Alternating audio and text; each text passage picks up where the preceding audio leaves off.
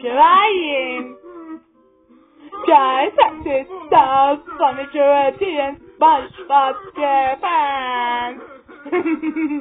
Aw, so hard on yourself? It was your Sullivan's fault that you were such a jerk. I blame Sullivan.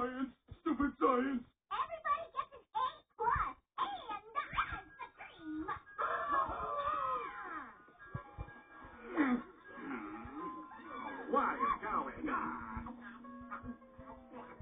I know it's a stupid question, but is there any ice cream left? No. Sorry, we're all out. You ate it all? You animals! You didn't even leave me one drop! There's gotta be some left in here! now that the real